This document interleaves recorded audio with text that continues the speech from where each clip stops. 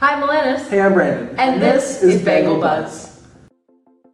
This Friday, May 6th from 4 to 10 up at the football field is going to be Party in the Streets. It's going to be a great time filled with food, games, and live entertainment. It's a great time and it goes to an even better cost because 100% of the proceeds will be donated to local families in need. You guys can see Miss Quick or Nicole Robbins for the Pura Vida bracelets. They're on sale for $5 and all the proceeds go to Richard Fair Moscow. The class of 2018 is selling Lokai bracelets for $13. and includes all colors, including the new neon rainbow tie-dye. If you're interested, see Miss Cam. A lot of students here at Barnegat High School have been taking AP tests, so we're here with Eddie Begg. So which test have you taken or are taking?